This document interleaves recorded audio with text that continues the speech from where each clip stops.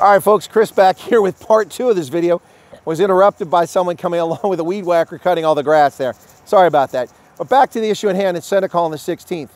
You need to consider this to be like a military operation, whether you're going with a group of people or you're going there independently of your own volition. You have to consider that you will be a target there and your family and your property may be a target back home. Keep that in mind. Be prepared for people to try to entice you into doing something inappropriate, saying things inappropriate. If you do go, let's use good behavior, folks. As always, be well behaved, be restrained, be proper, be respectful. In the face of all evil, be respectful.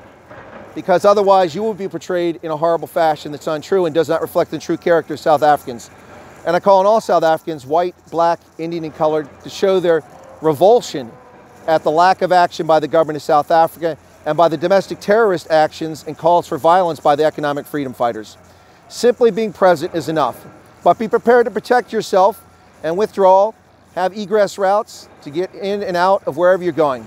So bottom line, folks, is when it comes to Senekal on the 16th of October, if you're curious or you want to pay, play a role, you have to ask yourself this question, should I stay or should I go to Senekal?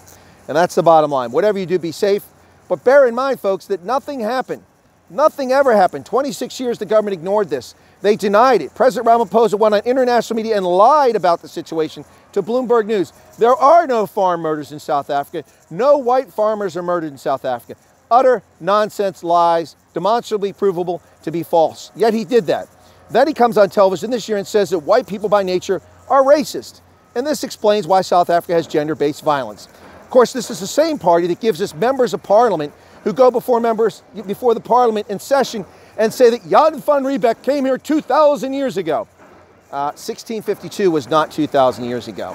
It's the same party that puts members of parliament who say, why do we need farmers? We get our groceries from Pick n Pay. Are you serious? What's next? Is Guam going to tip over from too many Marines being stationed on it? Utter lunacy, stupidity. Folks, this is the reality. The government has ignored the situation. Only of late, 41,000 motorcycle riders showing up in Gauteng. Pro protests also taking place in Cape Town, in Durban, in Mpumalanga, all around the country.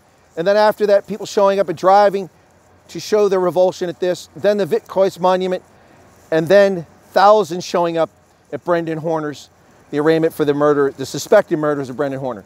This government only takes action when they're afraid. And I'm not saying you intimidate the government, but they're afraid when people are united. South Africans unite. Unite in revulsion at the African National Congress's shameful betrayal of the liberation struggle. They've lost the plot long ago, and South Africans suffer as a consequence. If you're going to Senekal, be careful for yourself, be careful for those around you, and be careful for your property and your home. God bless and good luck, folks.